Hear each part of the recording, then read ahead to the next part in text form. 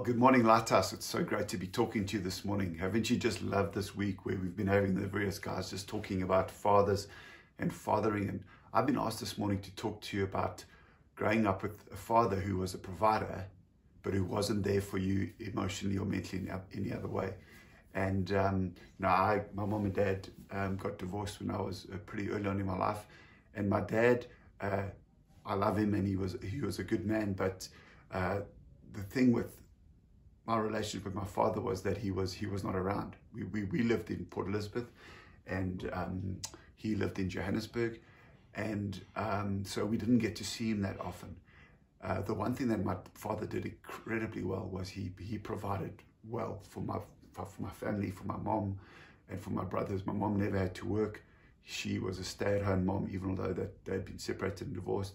And my mom really provided well for for my family, for myself, and for my brothers and my mother, like I've said. And, um, you know, that is, that, that's a, it's a blessing for me. I can imagine how much harder it would have been had my father not been a provider. But there was still this, this, this lack inside of me that, that you know, that, that, my, that I didn't have my father around to share, share my emotions with. And um, to be honest, it created some problems in, in my life, you know, growing up. And I've had to deal with that over the years.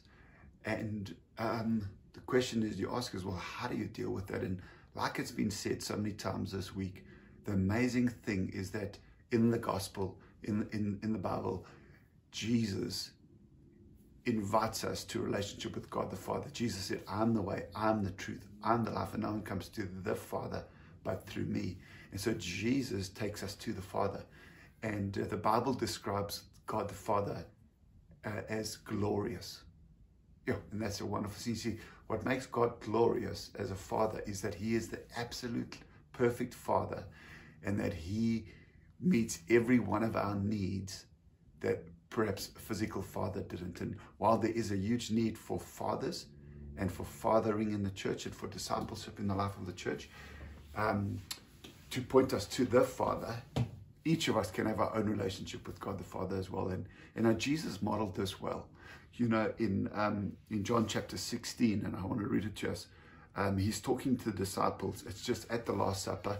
He's about to betray, be betrayed. He's about to be uh, sentenced to crucifixion, and the disciples are all going to leave him. He's already prophesied that Peter, who said he didn't, he would never deny him, that he would be with him for the rest of his life, that he would never abandon him, that he would always be there for him, and that he's prepared to lay his life down for him. Actually, Jesus said, "No, Peter, tonight before the rooster crows." twice you will deny me three times. And so Jesus says this in uh, um, in John chapter 16, and um, he says this in verse 32. But the time is coming and has come when you will be scattered, each of you to his own home. You will leave me all alone. Yet I am not alone, for my Father is with me. This is an incredible uh, truth that Jesus is, is communicating here. Can you imagine the picture? Jesus has walked with, talked with, taught, imparted his life to the 12 disciples for the last three and a half years of his life. It is going to be his darkest hour on earth, and he's most probably his most neediest hour when he's going to need that emotional connection from his friends. And um, he says to them, Listen, guys, the time is coming when you are all going to be scattered and you're going to leave me all alone. But the wonderful hope that Jesus has is this yet I'm not alone, for my Father is with me. And I think that has been the thing that has saved me as I've grown up and as I've matured into the, the man that I am today is that God has given me this revelation that my earthly father provided for me, he wasn't there for me in the physical, emotional sense, but he provided for me God, my Father in heaven, is with me, and though all may leave me, I am never alone because my Father is always with me. Jesus goes on to say this in verse 33 I've told you these things so that in me you may have peace. In this world you will have trouble, but take heart. I have overcome the world. I mean, Jesus is just incredible here again. Think about it. He is ministering to the disciples that are going to reject him, betray him, living alone in his most darkest hour. And yet Jesus is able to minister to them and forgive them in advance for doing this because Jesus has this revelation that if everyone leaves him, he's never going to be alone because his Father is always with him. And this is the key, my friends, to living a successful, victorious life in this world.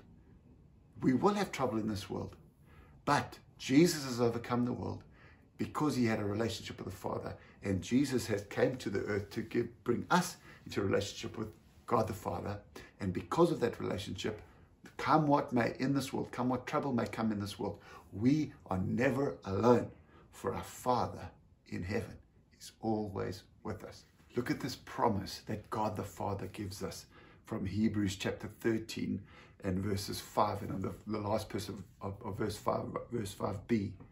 And it's from the Amplified Version, and it says this For he, God Himself, has said, I will not in any way fail you, nor give you up, nor leave you without support. I will not, I will not, I will not in any degree leave you helpless or forsake you, nor let you down, or relax my hold on you. Assuredly not.